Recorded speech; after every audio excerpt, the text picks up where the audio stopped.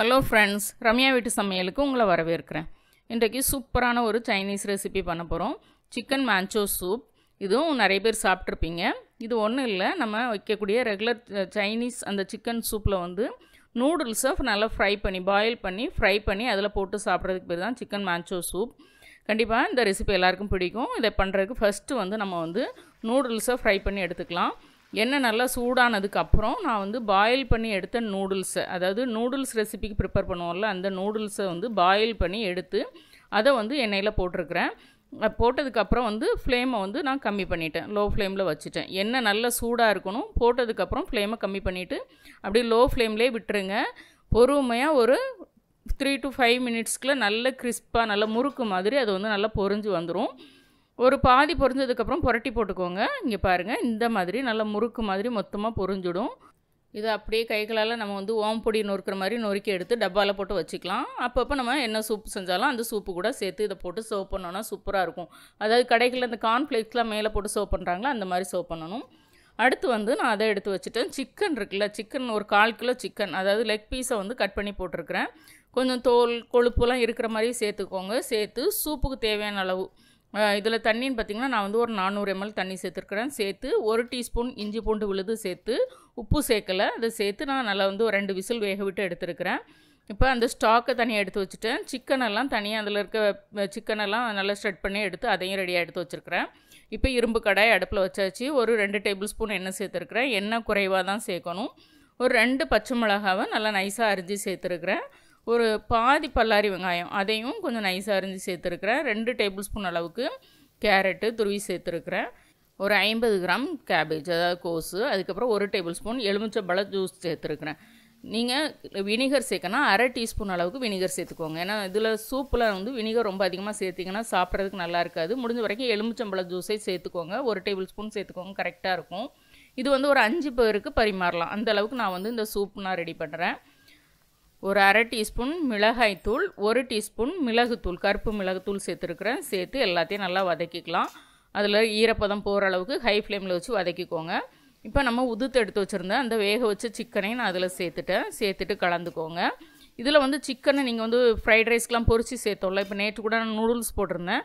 அந்த ரெசிப்பியில் சிக்கனை நான் பொரிச்சு சேர்த்துருந்தேன். அந்த மாதிரி பொரிச்ச சிக்கனும் நீங்கள் சின்ன சின்னதாக ஸ்ப்ரெட் பண்ணி அதையும் நீங்கள் சூப்பில் போட்டு சர்வ் பண்ணலாம். நல்லாயிருக்கும் இப்போ இதை வதக்கி விட்டதுக்கப்புறம் நான் மூணு டேபிள் ஸ்பூன் அளவுக்கு நான் சோயா சாஸ் சேர்த்துக்கிறேன். இது லைட் சோயா சாஸ் அதனால் வந்து மூணு டேபிள் ஸ்பூன் சேர்த்துருக்குறேன். இதே டார்க் சோயா சாஸ்னால் இதில் பாதி சேர்த்துக்கோங்க. அதே மாதிரி டொமேட்டோ சாஸ் ஒரு டேபிள் ஸ்பூன் சேர்த்துருக்குறேன். சேர்த்துட்டு இது எல்லாத்தையும் நல்லா வதக்கி விட்டுக்கலாம். இந்த சூப்புக்கு வந்து நீங்கள் கண்டிப்பாக சாஸ் எல்லாம் போடணும். போட்டால் தான் டேஸ்ட் வந்து உங்களுக்கு இந்த சிக்கன் மான்சோ சூப்போட டேஸ்ட் கிடைக்கும். இப்போ சிக்கன் வேக வச்ச தண்ணியை நான் இதில் சேர்த்துக்கிறேன். சிக்கன் ஸ்டாக்கு எல்லாத்தையுமே இதில் சேர்த்துக்கிறேன். நானூறு எம்எல் தண்ணி சேர்த்து கால் கிலோ சிக்கன் வேக வச்சு எடுத்திருந்தது. அந்த ஸ்டாக் எல்லாத்தையும் சேர்த்தாச்சு. அதில் இருந்த சிக்கனையும் உதுத்து நம்ம சேர்த்து வதக்கிட்டோம்.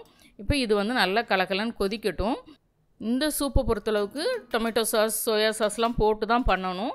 பண்ணிங்கன்னா தான் இந்த மான்ச்சோ சூப்போட ஃப்ளேவர் வந்து நமக்கு ஹோட்டலில் கிடைக்கிற மாதிரி கிடைக்கும். இப்போ நான் தேவையான உப்பு சேர்த்துக்கிட்டேன். கொஞ்சம் சோயா சாஸும் டொமேட்டோ சாஸும் தேவைப்பட்டுச்சு. ஒரு அரை அரை டீஸ்பூன் அளவுக்கு நான் வந்து டொமேட்டோ சாஸும் சோயா சாஸும் சேர்த்துருக்குறேன். நீங்கள் வந்து இதெல்லாம் கொதி கலந்து விட்டதுக்கப்புறமே கொதி வர்றதுக்கு முன்னே டேஸ்ட் பண்ணிக்கோங்க. அல்லது கொதித்ததுக்கப்புறம் கூட நீங்கள் டேஸ்ட் பண்ணிவிட்டு இந்த ஸ்டேஜில் அதாவது நம்ம இவன் வந்து கான்ஸ்டார்ச் சேர்ப்போம். அதுக்கு முன்னே வந்து நீங்கள் உப்பெல்லாம் சேர்த்துருங்க சாஸ் எல்லாம் சேர்த்துருங்க.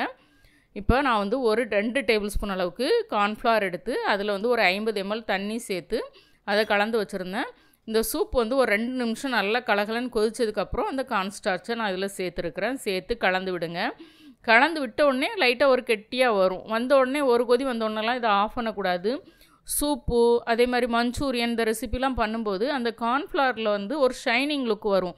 அது வரைக்கும் நம்ம அதை கொதிக்க விடணும். அப்படின்னா தான் வந்து அந்த ஷைனிங் லுக் வரும். ரொம்ப நேரத்துக்கு அது வந்து அந்த சூப்பு வந்து ரொம்ப நேரத்துக்கு வந்து உங்களுக்கு நல்லா கெட்டியாகவே இருக்கும். இல்லைன்னா ஒரு மாதிரி தண்ணியான மாதிரி ஆகிடும் இப்போ நான் வந்து டேஸ்ட்டை நல்லா என்ஹான்ஸ் பண்ணுறதுக்கு ஒரு அரை டீஸ்பூன் அளவுக்கு சர்க்கரை சேர்த்துருக்கேன் வெள்ளை சர்க்கரை சேர்த்துருக்குறேன். வெல்லம் சேர்க்கனாலும் நீங்கள் அரை டீஸ்பூன் அளவுக்கு வெல்லம் சேர்த்துக்கலாம். சேர்த்து நல்லா கொதிக்க விடுறேன். ஒரு மூணுலேருந்து அஞ்சு நிமிஷம் நல்லா கொதிக்கட்டும். கொதிச்சா தான் உங்களுக்கு வந்து நம்ம போட்டிருக்க வெஜிடபிள்ஸில் இந்த சிக்கன்லலாம் வந்து இந்த போட்டிருக்க இந்த சாஸ் எல்லாம் நல்லா சேர்ந்து வரும். அதுவும் இல்லாமல் நீங்கள் ஆஃப் பண்ணி வச்சதுக்கப்புறம் ரொம்ப நேரத்துக்கு கெட்டியாகவே இருக்கும் நான் சொன்ன மாதிரி. அந்த ஷைனிங் லுக் அதில் வரணும். அது வரைக்கும் நீங்கள் கொதிக்க விடுங்க. ஏன்னா நிறைய பேர் கொதி வந்ததுமே அந்த கெட்டி ஆயிடுச்சு அப்படின்னு நினச்சி எடுத்து வச்சுருவாங்க.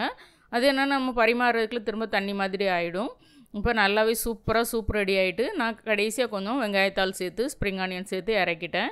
இங்கே பாருங்கள் சூப்பரான ஒரு மாஞ்சோ சூப் ரெடி இந்த சூப்பில் நீங்கள் பரிமாறும்போது மேலே கொஞ்சம் ஸ்ப்ரிங் ஆனியனும் அந்த நம்ம பொறிச்சு வச்சுருந்த அந்த நூடுல்ஸையும் நம்ம மேலே சர்வ் பண்ணிவிட்டு கொடுத்தோம் அப்படின்னா வந்து சாப்பிட்றதுக்கு சூப்பராக இருக்கும். கண்டிப்பாக ட்ரை பண்ணி பாருங்கள் நேற்று போட்ட சிக்கன் நூடுல்ஸையும் ட்ரை பண்ணி பாருங்கள் இந்த சிக்கன் மாஞ்சோ சூப்பையும் நீங்கள் ட்ரை பண்ணி பாருங்கள் சூப்பராக இருக்கும். ஹோட்டலில் கிடைக்கிற அதே டேஸ்ட் வேணால் திரும்பவும் சொல்கிறேன் நீங்கள் இரும்பு கடையில் பண்ணிடுங்க சூப்பராக இருக்கும்.